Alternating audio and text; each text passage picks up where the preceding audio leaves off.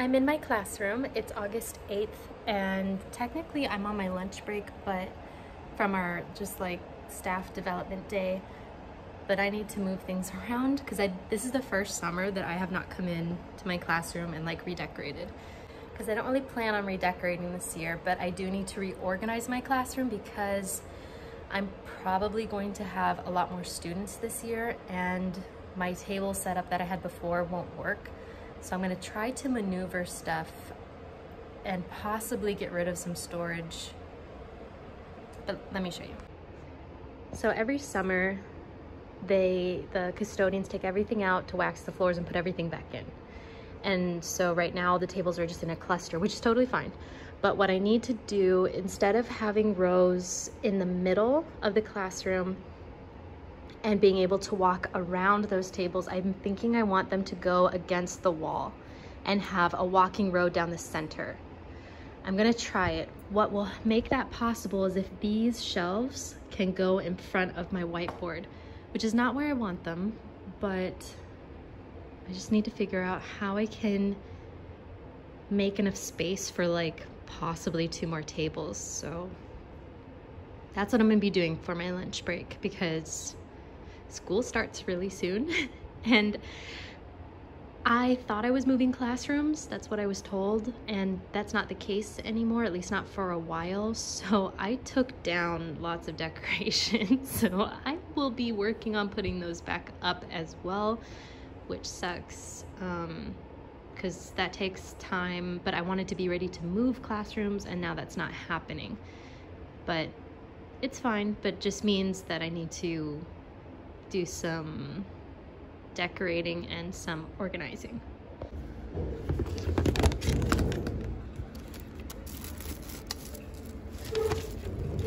Got some teacher goodies. Mm.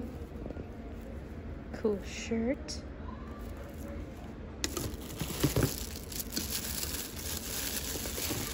Oh my gosh, I'm so excited about this. Such a good cup tumbler. This is a good box of goodies.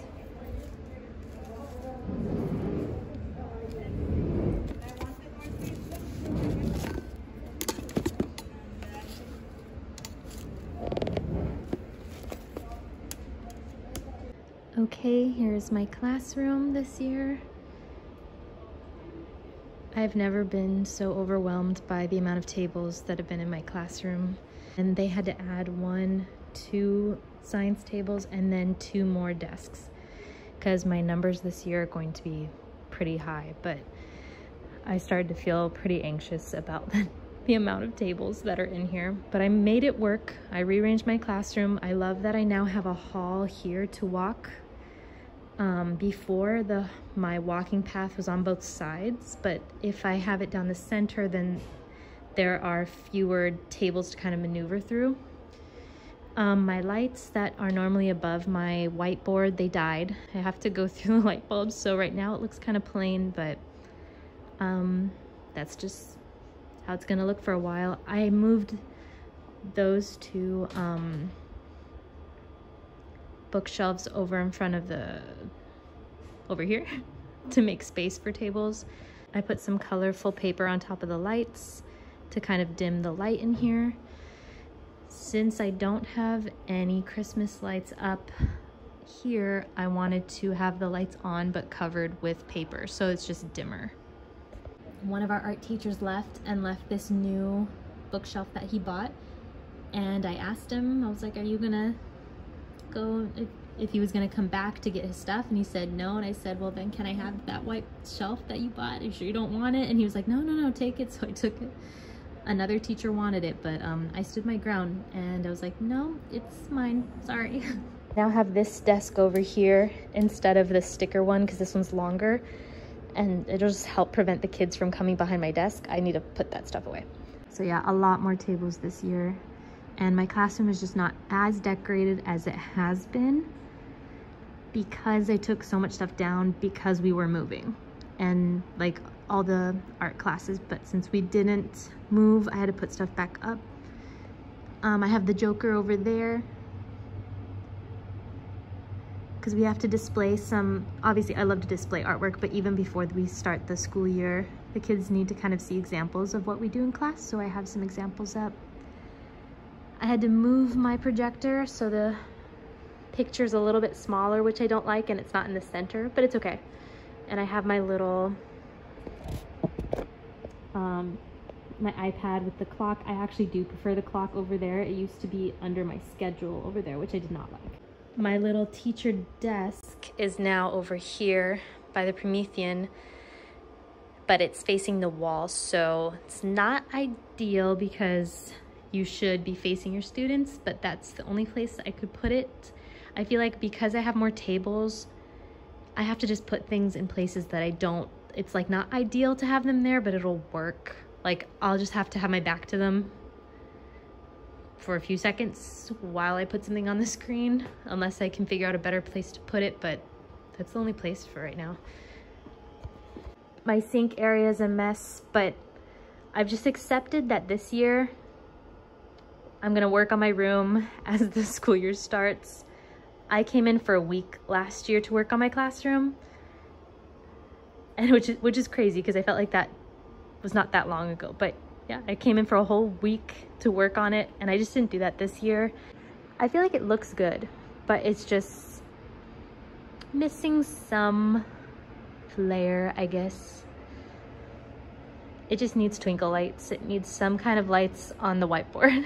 but I just need to figure out like what, how to fix them. And like, I don't like how the lights look with the colors necessarily. Like, I don't like to look up at them, but the light that it gives down is nice. Like, they don't look nice, but the light is nice. So we'll see if I keep them.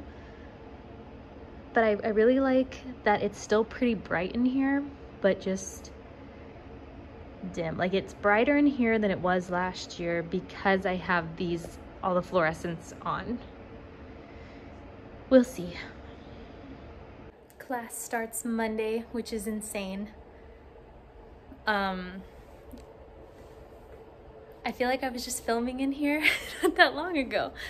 Summer just flew by, turning off all my lights. But that was a lot of work, but I feel so good. I feel so good that it's set up and that I have, like, I like the red light. I mean, I look terrible right now, but the red light is cool. And um, I still have my blue light up here. I thought about changing the color, but then I just don't know that it's really worth it. I was very anxious to do this. I was anxious to set up, so I'm glad that that's done. Now I'm gonna go home. I still need to work on my lesson plans and get stuff like ready for Monday, but the classroom is ready. it's kind of creepy red in here. the red lights. It's like eerie, but I kind of like it. First day back. I'm nervous, but I got here super early to set up and get ready for the day trying to figure out how to style this short hair. It's been a long time since I've had hair this short. oh my god, today was insane. For one of my class periods, I had 45 kids and four teacher aides. So almost 50 students, which you can't it was it was a, an error like it was it was a obviously a mistake.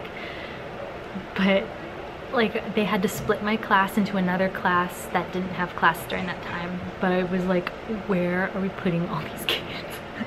And it's it, it was not done on purpose obviously. It was they all the principals were here trying to figure out what to do and the counselors and I just I felt bad but I was like I don't I don't know what to do.